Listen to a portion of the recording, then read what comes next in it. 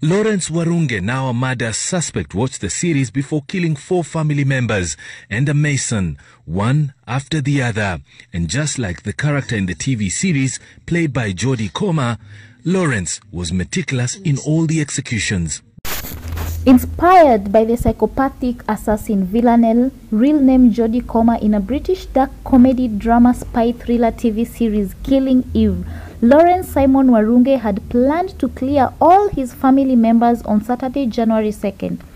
Warunge, 22, who has confessed to the murder of his parents, two siblings, and a farmhand, had described his parents to police as satanic and killers, had planned the murder for about three months. He had, however, told the girlfriend that there was something he wanted to do that would make them live in peace for the rest of their life. During this period, even as he watched movies, he also practiced how to camouflage and commit the horrendous act without being noticed. An investigation has revealed shocking revelation how the macabre massacre, which aborted three times with the second last planned for January 2nd, was planned and executed. That Saturday, Lawrence tried to convince the girlfriend, Atito Teller, to drink and smoke bhang in vain. He expected the girl to pass out as he rushed to his rural home and butcher his kin and come back. He had hoped to use the girlfriend as an alibi after killing his family using carbon monoxide. Detectives from the Homicide and the Crime Scene Investigation Units at the Directorate of Criminal Investigations, DCI headquarters, on Saturday recovered crucial exhibits that has unraveled the multiple victim homicide. And the suspect has clearly been placed at the scene of crime, with the de detectives now trying to establish the motive.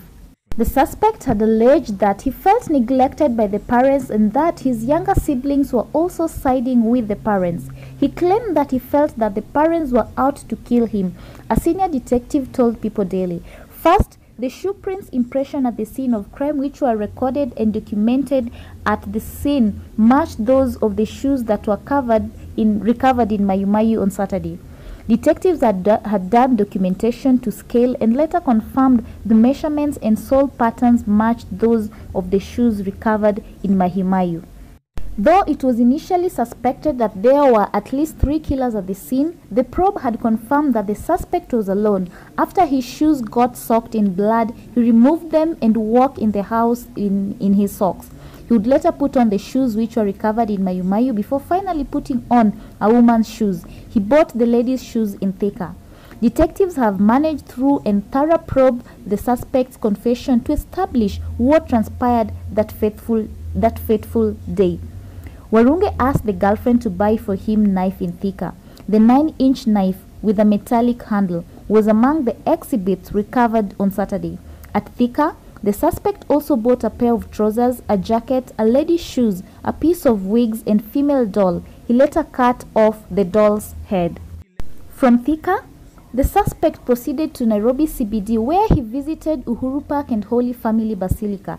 Fearing that he could be searched at the church, he proceeded to one of the supermarkets where he deposited his luggage which were in a red carrier bag containing the things he bought plus the knife. He left the supermarket with the luggage tag, leaving his bag behind, and proceeded to the church.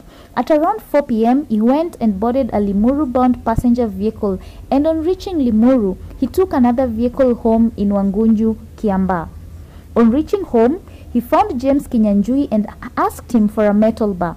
He, however, did not disclose what he wanted to do with it. At one point, he was very nervous, and when the deceased asked him, he simply said he had a lot of stress without expounding.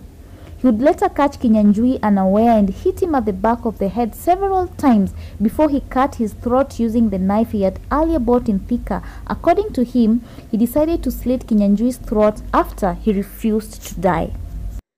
A blood spatter analysis would later confirm that the blood pattern on the wall curtain emanated from a high-pressure vein in the throat. Warunge remained around the initial crime scene until around 8 p.m. when he saw his father was driven home in a taxi. Shortly thereafter, he scaled the perimeter wall. He got shocked by the electric fence but still managed to get into the compound. The father had brought home some bottles of Balozi beer, some of which were recovered in the house, the secondary scene. While in the compound, he saw the mother in the kitchen and proceeded to the main switch and disconnected the power. He had some paraffin which he sprinkled on a green paper bag and set it on fire outside the kitchen door. Curious to know what was happening, the mother got out and he hit her at the back of the head with the metal bar. The brother who had the commotion rushed at the door, oblivious of the impending danger, was also attacked. The mother fell down unconscious while the injured brother rushed back to the room. All this while the father who was taking some beer in the bedroom upstairs was not aware that the family was under attack from their own son. Shortly thereafter, on sensing some commotion, he went downstairs but met the son armed with a knife. He ran back, but the son followed him. Fearing for his life, he jumped from the bedroom balcony. He got injured, and the son followed him, where he stabbed him several times before slitting his throat. He would later hear the father attempting to open the gate to escape. He pursued him and stabbed him even more, leaving him with his intestines out. Investigations revealed that at this point he was only on his socks as he had removed his blood-soaked shoes. He then killed one of his brothers, Maxwell Njenga, a class 7 pupil at Wangunyu Primary School and went room for, to room looking for the other brother. He found the brother Christian Njenga hiding under his bed in his room. The younger brother pleaded with him to spare his life. He would hear none of that and stabbed him several times before slitting his throat. After killing the family members, he showered and ate the food the mother was preparing and later sat down and watched a program of television. He slept on his father's bed until around 4 a.m. when he woke up and asked for a lift in one of the delivery vans. He went to Naivasha and later went to Mai Mahiu, the rural home of his girlfriend who was by then in Thika. There he burned some of his clothes and the mobile phones belonging to his parents which he had collected from the house. He later went to Lower Kabete where he was arrested. The suspect who has since been arrested has not panicked or shown any remorse. He told detectives that he was shocked to see family members crying and mourning the deaths. He bought some paper which he would bite or spray in order to tear, to tear to appear like he was also mourning. The exhibit recovered had been thrown in a pit latrine. He even took detectives to an open field in the same area where he burned some of the evidence. The father had arrived from in Kenya from the United States about a fortnight earlier, where he worked as a nurse. Two of his daughters survived the cold-blooded murder since they had gone to school the previous day. One of the sisters is a Form 4 at St. Angela School, while the other one is a Form 2 at Ngiriambu Girls in Kirinyaga. The suspect said that he had read a book and watched a movie. That is how he planned his murders. Listen to what the movie is all about.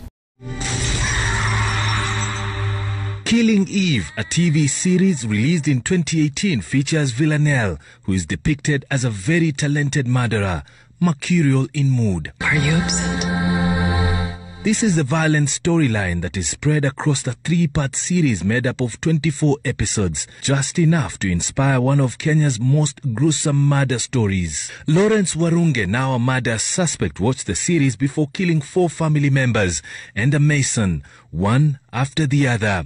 And just like the character in the TV series, played by Jodie Comer, Lawrence was meticulous in all the executions. Lawrence told police that he had been planning his murderous actions for three months. He was also reading two novels, one titled Eight Perfect Murders and the other The Eve of Murder. One critic has said this about Eight Perfect Murders. Probably what you need right now is a good murder mystery, one that is bookish, engrossing, not overly gory and impossible to solve. One person who has read The Eve of Murder has said that the book is fast moving. The storyline is also very predictable. Keep it locked here on my channel. I will be updating you on how this story will go. If you have not subscribed, please consider subscribing and turning on your notification bell.